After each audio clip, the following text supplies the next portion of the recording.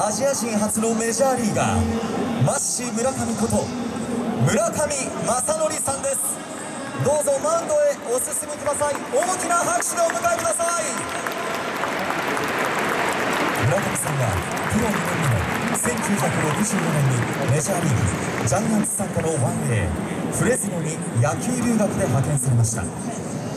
その後投手としてサンフランシスコジャイアンツに昇格し日本人初のメジャーリーガーとなりました。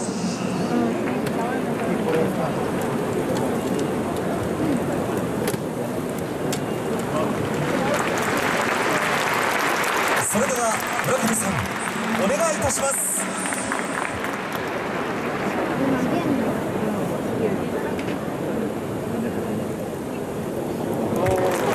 ありがとうございました今一度盛大な拍手をお送りください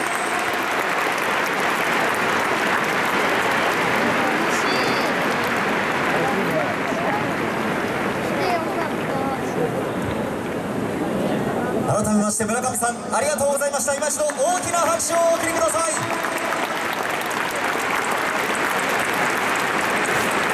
以上をもちまして野球伝来150年記念セレモニーを終了いたします。